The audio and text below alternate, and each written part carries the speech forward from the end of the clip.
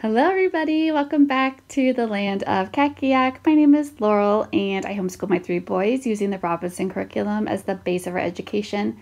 Today, I was just organizing some of my math supplies, and I was actually getting some of my math workbooks kind of put together in preparation, kind of um, organizing them, things I've learned the hard way, and I want to do differently the next time around with my youngest. So he's not quite ready for, um, you know, addition and subtraction right yet. But, you know, I know it is fast approaching and I'm just doing future Laurel a little uh, solid today by going ahead and organizing stuff while the kids are outside playing. And I, I was just kind of printing off my um, multiplication and division worksheets. Me see, I'm working on the floor. I was getting them prepped out. And then I decided I'm going to print them because I like to do a warm up and you can do this technique I'm going to show you with any kind of printable worksheets that if you use them. But I've printed everything single sided and then I have things that I like to use as warm ups that I'm going to now go and print on the back side of everything. Starting here with the division workbook pile. So I am going to um, I already did a test. I like just, I wrote print, like, you know, because these are already pre-printed. I wrote print on a piece of paper and then I, I tested and I, which side would print on the opposite side the way that I want.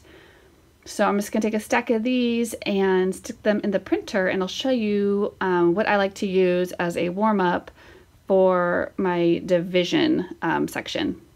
I just pulled this all off so now on the back side of everything, so when they open up their workbook, it'll be like this. So here's their warm-up page, and then whatever they're working on for the day will be over here. In this case, they'd be studying the key because they're going to have a test, right? But um, just, I don't know, just in case you run into the same um, printing kind of issues I do, it's not really an issue, but when I flipped them over like that, so they were like, they were all like this. Oops, this was the front, right? So I would take them and put flip it this way and stick it in my little back feeder, right? And then they come out printed right here. But just so you know, they come out completely in the opposite order. So this should have been my last page, right? So just um, keep an eye on that, especially if you have ones that aren't numbered. So I'm just going to go through and quickly put these back in the correct order. And then I'm going to um, move into my multiplication and I'll show you what um, I have a different warm-up sheet that I want to um, print onto the backside of all those pages. So I finished my division and my multiplication workbooks, put those together. I'll just show you. Okay, so so to flesh out their math workbook, I printed all of the worksheets single-sided, like I showed you, and then so I put for the multiplication, I put a multiplication table, um, like just a blank one for them to practice on the back side of all of my single-sided worksheets that way, I like when they open it up for the day that they can see both their warm up and what they're working on in there that day. So they would write in all the ones that they know up to the point that they're on. So I don't go in a purely chronological order, like, you know, 2 through 12 or whatever. I go like 2, 5, 10, 11, right? I go to, I have a different order that I'm putting them in. But I like they can open it up and then they can put in every day. Their warm up will be to write in their table for the for what they've already gone over. So they're always getting review and they're always keeping those numbers and those sequences in their mind. And then they're doing some practice. And then they've got a test on whatever fact family they're working on, right? So they'll answer those and then they'll um, count by twos and then they'll have a fill-in page, right? Um, there's the answer key. Then they'll move on to their fives, right? So they're to fill in every fifth. So they're seeing, that's kind of conceptualizing, you know, warm up. Hmm, I think that was just a misprint there. count by fives or color in every fifth one. So they're to do their warm up. So they'd be doing, they'd know their ones, their zeros or ones or twos, and their fives, right? They have a cumulative test, twos and fives, right? And that just continues on, they, and they just keep every day having a warm up and their actual workbook page. So I go all the way through the 12. So if they didn't, if like they didn't pass a test, you could have them like you can the nice thing with printable worksheets is you can just reprint them and have them do that section over again or you could have them just you know work on just the ones that they missed on their test and maybe just pull out just those flashcards and just have them do them every day for a few days to see if they get it and then retest them or um, I also have these sheets this this comes I mean this what I'm showing you now is actually a bundle um, the division and the multiplication. And it comes with these, like a memory pyramid for um, practicing their skip counting to memorize those, and math fact families. Can see how they are when they filled out. But they could work on, if they are missing a certain fact, just kind of working through it. Um, I also do incorporate Ray's with it. So right now I actually have the Ray's workbooks that my oldest is working through, but I'm not sure that I, I would, I'm not sure that I want to repurchase those for my youngest.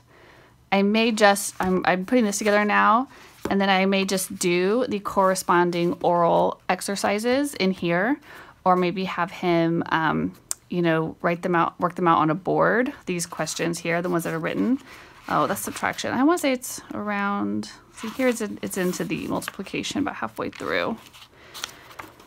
So you could always, I may just have him also just to whatever fact family is on that week, we'll also go through the exercises that are in here. And of course, if you're an RCE member, um, you have access to, you know, um, a PDF of this, and then you can always find them in the public domain if you're not, and they're free. But then I also found um, another RC mom tipped me off to Olney's. And so I like um, a workbook that another RC mom put together. Um, she formatted an old math book into um, a workbook format. So I like these, and I'm including these in their workbook too. So this is free to print out, and I'll link this for you too. And so I like that if they needed more practice, if they don't have their math facts memorized, if they're having troubles with certain one, we could do more work in this workbook that I've also bound together with it, just so they have extra practice with it.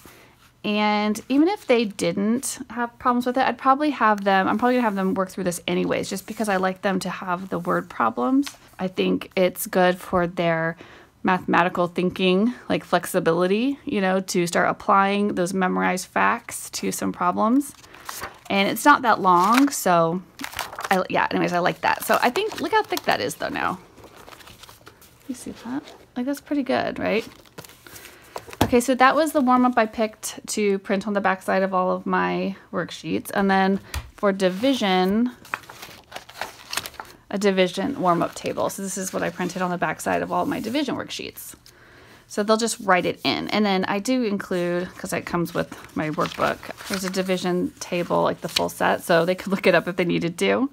Or they could work it out on their abacus, you know, and um, then they're gonna be writing that in. And that's gonna be their warm up to write in whatever um, division table that they're working on that time. And then they have whatever they're working on, and then we always follow up with flashcard work for like 10 minutes a right pile, wrong pile, and um, then a math game, a no, a no prep math game. So that's what I like about this is it, it really simplifies my life. They just know that's their normal math routine is that they're always going to come sit down. Math is first after we do Bible. But let's say I was like sick or had a migraine, which I'm saying that because it happened today and I was just out of it and I had to take some medicine. I was laying on the couch in here with them, but I like could not even open my eyes. So I was like, just do your math. I was like waiting for my migraine medicine to kick in. And so my oldest, he just gets into a Saxon. Um, I, I my youngest, which is playing with toys or whatever in here, which is fine. And, um, you know, but in my second grader, he knows he just got out his um, multiplication. He's actually on his multiplication um, workbook, he did his warm up on his own. He did a workbook page. Then he just did his flashcards, and he knew mom wasn't feeling good, so I wasn't going to be able to play the game with him that day. That's no big deal, right? By that time, my medicine was try- starting to kick in. I was feeling a little bit better, you know? And so he got to read his McGuffey reader to me. No, no big deal. Anyway, so that simplifies my life, right? So I've got a routine. The kids know what it is. I have it all prepped out. It's all in one book. I'm not going between multiple books because I just combined everything into one. And ah, simple and clean, right? okay, so those were my little math uh, workbook hacks. And if you have any good ones, if you have any favorite like free math worksheets or math workbooks that you love, link them down below for us all so we can all check them out. Okay, happy homeschool.